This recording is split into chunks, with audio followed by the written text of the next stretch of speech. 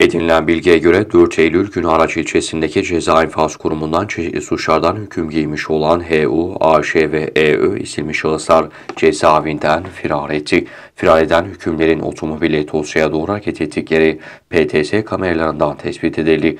Tosya İlçe Emniyet Müdürlüğü ekipleri tarafından araç takibi alınan 3 hükümlü kısa bir kovalamacının ardından yakalandı. Silahla tehdit suçundan 2 yıl 6 ay hapis cezası bulunan HU, hırsızlık suçundan 3 yıl 10 ay 20 gün ceza alan AŞ ve uyuşturucu kullanmaktan 2 yıl 6 ay hapis cezası bulunan EÖ isimli hükümlü emniyetteki işlemlerin tamamlanmasının ardından yeniden Kastamonu Ceza Enfaz Kurumu'na teslim edildi.